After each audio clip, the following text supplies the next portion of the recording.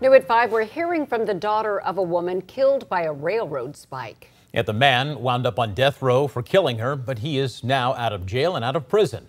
He is going to get a new trial. I'm James Brown. I'm Cheryl McHenry. After nearly 30 years, David Lee Myers had his conviction overturned, and a judge let him go without bond. News Center 7 has followed this case for decades. And Mike Campbell joins us live from Greene County. Mike, this case brings up decades of emotion for Amanda Maher's daughter.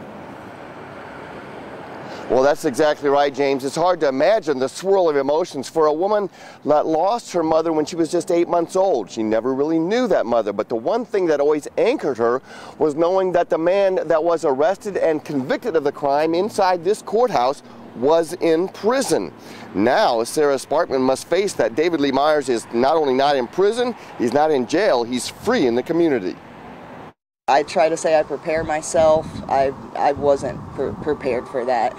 It seems unreal. Sarah Sparkman knew Judge Jonathan Hein had already overturned David Lee Myers' aggravated murder conviction and ordered that he be retried, but she expected that the judge would install a high bond that might hold him in the Greene County Jail while that new trial was scheduled. You know, they took his handcuffs off in the courtroom, and I think that's when it literally hit me. Sparkman read a letter in court as part of the state's request for a $5 million bond. On the other hand, the defense asked that Myers be released on his own recognizance, and the judge agreed, another decision that shocked Sparkman.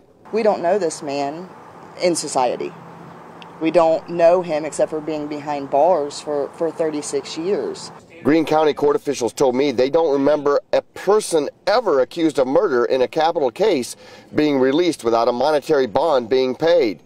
Now, Sparkman is receiving nightmare texts you know, 352 of David Lee Myers is out of custody. The judge pointed out Myers had a good disciplinary record in prison since his 1996 conviction.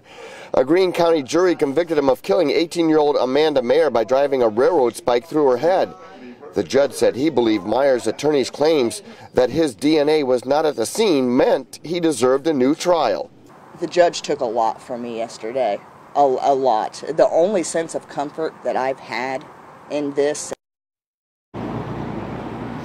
Back live, the Greene County prosecutor made it clear he did not agree with the judge's decision to grant bail or the decision to overturn the conviction.